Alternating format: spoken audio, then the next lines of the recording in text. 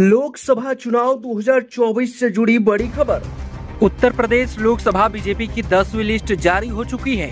बलिया से बीरेंद्र सिंह मस्त का टिकट कट चुका है। पूर्व पीएम स्वर्गीय चंद्रशेखर के बेटे नीरज शेखर को टिकट मिला। मैनपुरी से जयवीर सिंह, मछली शहर से बीपी सरोज गाजीपुर से पारसनाथ राय कोशाम्बी से विनोद सोनकर, फूलपुर से प्रवीण पटेल और इलाहाबाद से नीरज त्रिपाठी को टिकट मिला है। कैसरगंज का टिकट अभी भी होल्ड पर है।